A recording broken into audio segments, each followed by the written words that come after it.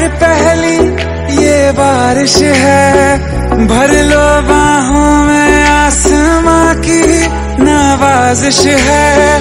कितना खुश है देखो ना ये आसमान।